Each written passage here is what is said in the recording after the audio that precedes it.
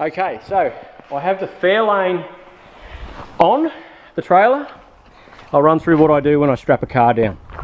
Okay, so two and a half ton straps, as you can see. These wheel straps here is the way you need to do it. You need to have wheel force coming down. So you see how that's in the, not at the center of the wheel, but slightly above.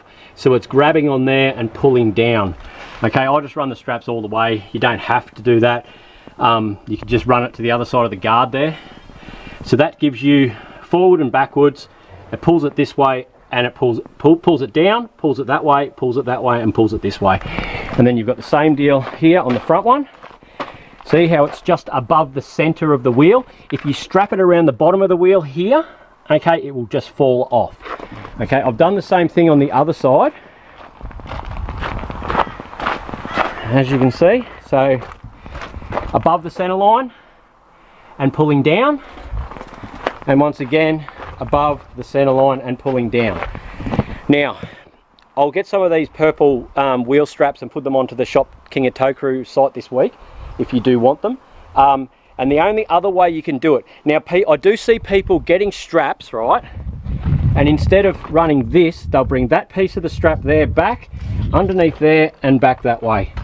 Now, there's gonna be a few of you sitting there and go, yeah, it works perfect. It doesn't, okay?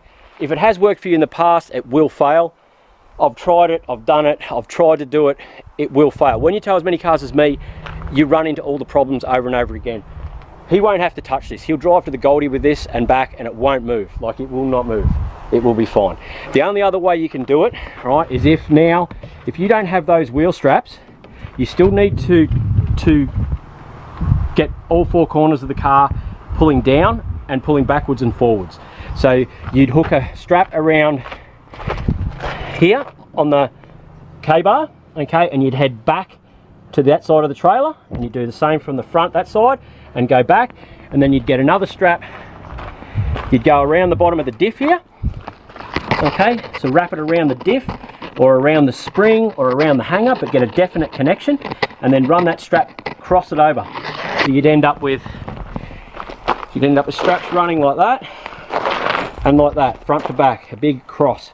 And that what that's going to do for you is stop the car from moving side to side and backwards and forwards and it can't go anywhere. And because it's slightly up and coming down in theory it's holding the car down. It's not you know but yeah but it won't move. Wrapping the things around it tying bits of rope. I've seen people have straps crossed up from that corner there straight across and straight across the back there it's doing nothing the car can move forward the car can move backwards fair enough it might be able to go side to side but when they've tied it onto the car here, the car actually moves with the suspension so the strap comes tight and light, tight and light. You need to put it on to the diff, all right? Because the diff cannot move unless it has a small amount of tyre bounce and that's it. You can't tie it to the body because the body moves with the suspension and then the strap comes loose. So it has to go to the diff or the chassis, like the front end. Now, you guys are going to have questions please put normal questions down below and I'm more than happy to go through it again and explain to you again. It is very, very important you tie your cars on properly. I can't stress it enough. It is so dangerous if you don't. But, um, you know, let me know. All right, guys, I'll get these plugged. We'll get stuck back into the Skyline. I hope that was helpful.